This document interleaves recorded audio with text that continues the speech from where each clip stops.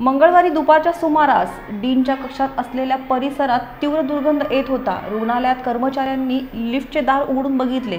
लिफ्टच्या खाली महिलेचा कुजलेला मृतदेह आढळून आला. याबाबत माहिती मिळताच पोलिसांनी घटनास्थळी पोहोचून पंचनामा केला. हा मृतदेह शवविच्छेदनासाठी पाठवण्यात आला असून महिलेची ओळख पटवण्याचे पोलीस प्रयत्न करत आहेत. शहरातील वसंतराव नाईक शासकीय वैद्यकीय विद्यालय आणि महाविद्यालयाच्या इमारतीच्या लिफ्टखाली एका महिलेचा संशयास्पद मृतदेह आढळल्याने खळबळ उडाली आहे.